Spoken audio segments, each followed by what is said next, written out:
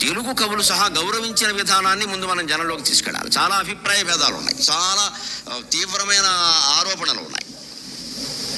ఏకలవ్యుడికి పూర్తిగా అన్యాయం జరిగింది. అందులో ద్రోణాచార్యులను సమర్థించాల్సిన కర్మ మనకి లేదు. దయచేసి అందరూ గమనించాలి ఈ విషయాన్ని. ద్రోణాచార్యులు మా క్యాస్ట్ కదా. ఈ క్యాస్ట్ ఫీలింగ్ లేకపోవడమే సమాజం.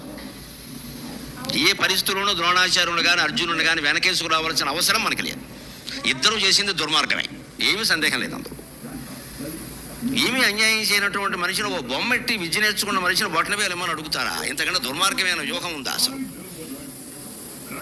ఎందుకు వస్తుంది ఈ పరిస్థితి సమాజంలో అంటే ద్రోణాచార్యుడు దుర్యోధనాథుడు కట్టుబడి ఉన్నాడు. కౌరవులకి పాండవులకి విద్య నేర్పే మనిషి. ఆయన ఏకలవ్యుడికి నేను విద్య చెప్పను అనడం నేరం కాదండి. ఎక్కడికక్కడే న్యాయం మాట్లాడుకోవాలి. విద్య చెప్పను అనడం నేరం కాదు. ఆయన కులభేదం వల్ల చెప్పను అనలేదు. వ్యాసభారతం చదవకుండా మాట్లాడద్దు. కవిత్రయ భారతంలో కూడా అనలేదు నీ కులం కారణంగా నేను చెప్పనని అనలేదు. ఏకలవ్యుడు గిరిజనుడు. వాళ్ళ నాన్నగారు హిరణ్యధనువుడు ఇంకా ఆశ్చర్యకరమైన విషయం చెబుతాను. శ్రీకృష్ణుడికి స్వయంగా మేనత్త కొడుకు. పాండవులు ఎంతో ఏకలవ్యుడు అంతే. ఏం అనుమానం లేదు. ఇందులో హరివంశంలో చాలా స్పష్టంగా ఉంది. శ్రీకృష్ణుడి తండ్రి వసుదేవుడు. వసుదేవుడికి ఐదుగురు చెల్లెళ్ళు. శృతకీర్తి శృతదేవ శృతశ్రవ పృథ ఆవిడ పేరే తర్వాత కుంతి. రాజాధిదేవి ఐదుగురు చెల్లెళ్ళు. ఇందులో శృతకీర్తిని వృద్ధశర్మ అనేటువంటి రాజుకిచ్చి పెళ్ళి చేశారు. కరుష దేశాధిపతి. దేశాధిపతి. వాళ్ళకి పుట్టిన వాడే దంతభక్తుడు. వాడే రామావతారంలో కుంభకర్ణుడు. వాడే అంతకుముందు నరసింహ అవతారంలో హిరణ్యాక్షుడు. ఇది మూడో జన్మ. దంతభక్తుడు శిశుపాల దంతభక్తుడు. ఒక మేనత్తకి పుట్టినవాడు. రెండో మేనత్త శృత దేవ.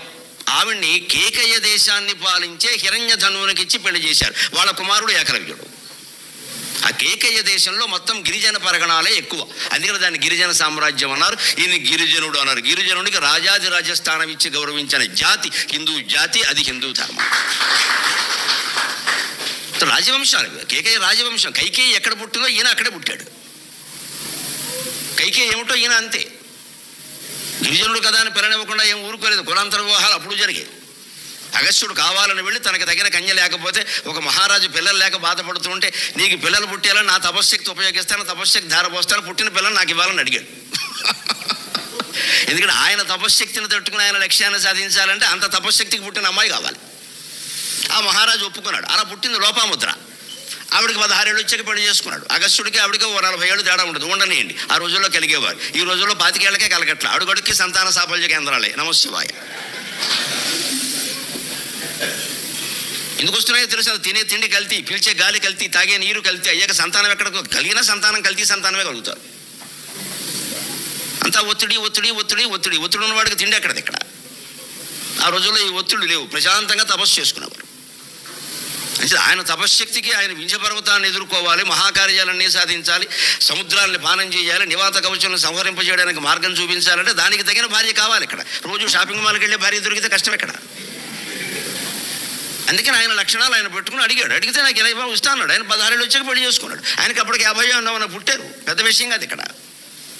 వయోభేదం ఉండాల్సిందే. ఐదేళ్ళు కనీసం ఉండాలి. తెలియకుండా ఊరికే మేము ప్రేమించుకున్నాం మా ఇద్దరు ఈక్వల్ ఏజ్ ఈక్వల్ ఏజ్ కాబట్టి గొడవలు ఎక్కువైపోతున్నాయి. అలాంటి కులాంతర వివాహాలు ఎప్పుడూ జరిగాయి. పెద్ద దానికో గింజుకోవలసిన ఏం లేదు. ఇక్కడ విపరీతంగా. దానికోసం పరువు హత్యలు. ఇది హిందూ సంస్కృతి కానే కాదు. ఇది అహంకార సంస్కృతి. అంటే స్పష్టంగా ఏకలవ్యుడు శ్రీకృష్ణుడికి మేనత్త కొడుకు. హరివంశంలో చాలా స్పష్టంగా ఉంది ఆ విషయం. రెండవ మేనత్త శృతదేవ మూడో ఆవిడ శృత శరవ ఆవిడ్ని దమఘోషుడికి ఇచ్చి పెళ్ళి చేశారు చేది దేశాధీశుడు.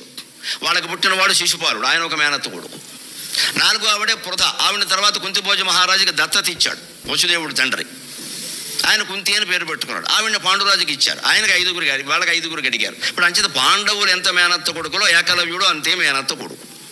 గిరిజనులకి రాజులకి కూడా శుభ్రంగా కులాంతర సంబంధాలు ఉండేవి అందులో ఇబ్బంది ఏమీ లేదు. ఆయన రాజ్యాధిపతి. ఆయన పేరు హిరణ్యధనువుడు. గమనించండి బంగారపు ధనుస్సు కలిగిన వాడు అని దానికి అర్థం ఎక్కడ?